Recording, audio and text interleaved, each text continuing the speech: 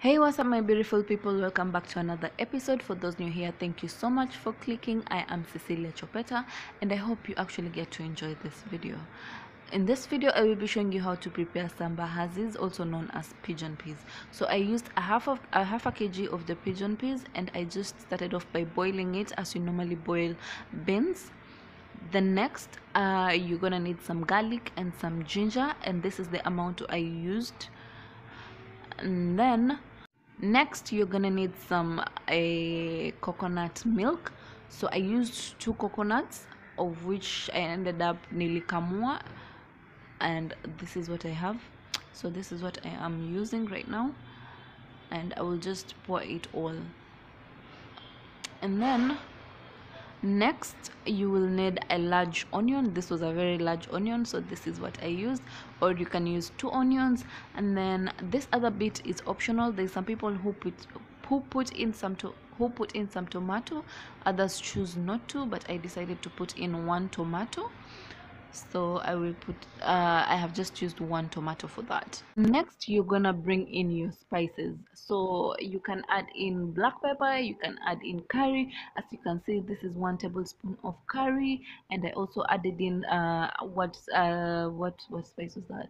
Uh some cumin. And also i just added in one tablespoon of salt and that is it so also it's optional. You can choose to add in some chilies. As you can see i added in two chili i did not cut them. I did not do anything. I just added in added them the way they were at this point do not be alarmed. I know they are looking like mashakura but trust the process. So just cover it and let it cook. As you can see i promised you it's not mashakura.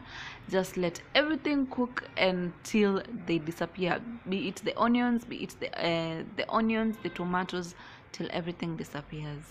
This next step I used most of my coconut oil in preparing the mahambris and in preparing the first. You saw the first, uh, the first bit we needed some uh, coconut milk.